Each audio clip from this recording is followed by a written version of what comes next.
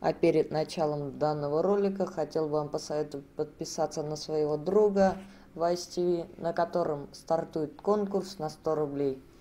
Поучаствуй, удачи! А мы начинаем. Всем привет, уважаемые зрители и подписчики моего канала. С вами Задрот сотого левела.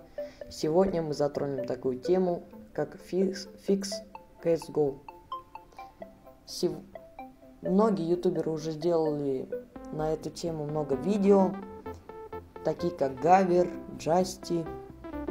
Суть этого хэштега FixCSGO в том, то, что ютуберы записывают видео, как они играют с читами на видео, то есть выкладывают там с, со всякими разными читами и ждут, когда они получат вакбан. Выдаст ли им Valve вообще вакбан?